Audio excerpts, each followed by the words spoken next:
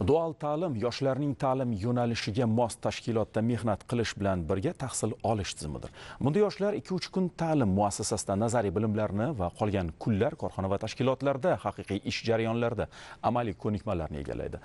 Mazkur tizim germaniya avstriya shvetsariya va koreya respublikasi kabi mamlakatlarda iqtisodiyotni rivojlantirishda juda katta o'ringa ega bo'lgan. Andijon viloyatidagi ta'lim muassasalarida dual ta'lim tizimi qanday ish bermoqda? Bu borada yoshlarning fikri qanday? Muxbirimiz? Ayni masala xususida so'z yuritadi. Ham o'qish ham ish. Dual ta'lim bugun professional ta'lim muassasalari tizimida ham o'z samarasini bermoqda. Birgina andijon shahridagi ikkinchi son kasb hunar maktabida ko'rib turganingizdek mana shunday mo'jaz chevarchilik ustaxonasi tashkil etilgan va tikuvchilik yo'nalishida o'qiyotgan qizlar hunar sir asrorlariga o'rgatilmoqda.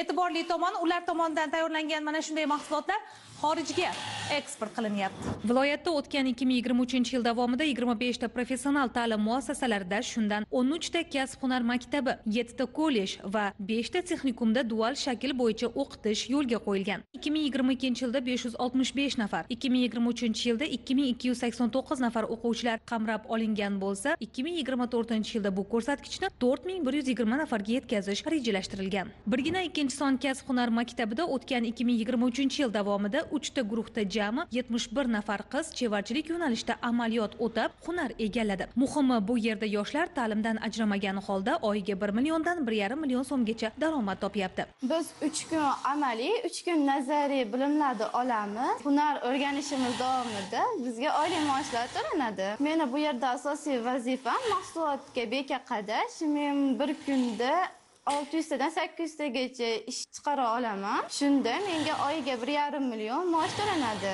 hozirda mana shu qizlar tomonidan kuniga 500 ta mahsulot tayyorlanmoqda. Qolaversa o'quvchilarning hunar o'rganishi uchun sharoit yaratib bergan tadbirkorlarga ham imkoniyatlar bisyor. Bir yil avval shu maktabda hamkorlikda ish boshladik. Dual ta'limni yo'lga qo'yilishi biz tadbirkorlar e, hamda o'quvchilar uchun ham manfaatli bo'lyapti. Birinchidan menga tayyor bino berildi. Ijara va soliq to'lovlaridan ozod etildim yana bir jihati ishchilar ham tayin. Oyiga o'n mingta mahsulot tayyorlab rossiyaga eksport qilyapmiz. Hali bu boshlanishi kelajakda bundan ham kattaroq rejalarni ko'zlaganmiz. Endigi masala ushbu maktabda to'plangan tajribani boshqa muassasalarda joriy etish. Zero davlatimiz rahbari ham viloyatga tashrifi chog'ida mana shunday tizimni ommalashtirish topshirig'ini berdi. Xo'sh rejalar qanday? Prezidentimiz tomonidan endi mana shu dual ta'lim tizimini yanada mukammallashtirish ayniqsa e, ushbu tizimni boshqa ta'lim muassasalariga ham ommalashtirish vazifasi qo'yildi oldimizga. Yigirmadan oshiq xodimlarimizni chet elda o'z malakasini oshirish shu bilan birgalikda zamonaviy ishlab chiqarish jihozlari bilan ta'lim muassasalarimizni ta'minlagan holatda ya'ni yigirmaga yaqin ta'lim muassasamizda xuddi shunday ishlab chiqarish jarayonlarini yo'lga qo'yish asosiy vazifa qilib oldik.